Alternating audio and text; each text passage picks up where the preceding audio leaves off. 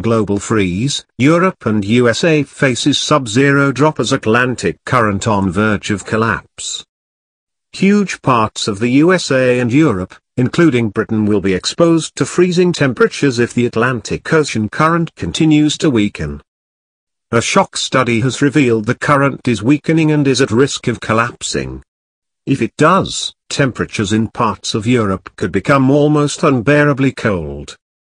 The Atlantic Meridional Overturning Current, AMOC, carries heat from the equator northwards, partially contributing to the heat of northern Europe's climate.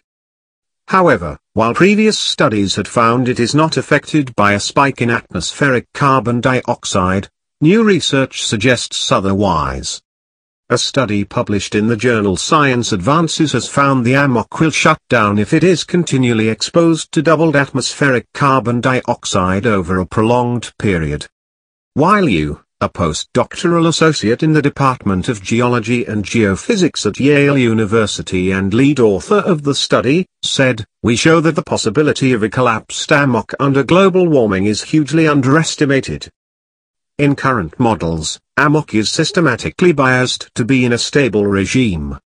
A bias-corrected model predicts a future AMOC collapse with prominent cooling over the northern North Atlantic and neighboring areas. This has enormous implications for regional and global climate change.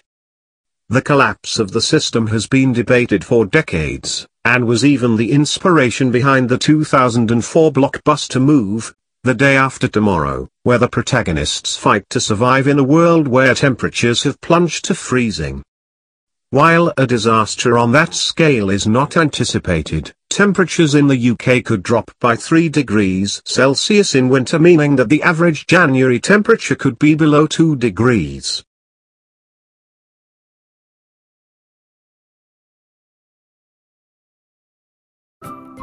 Thank you for watching.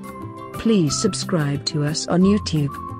If you like donate to us visit home on the page PayPal.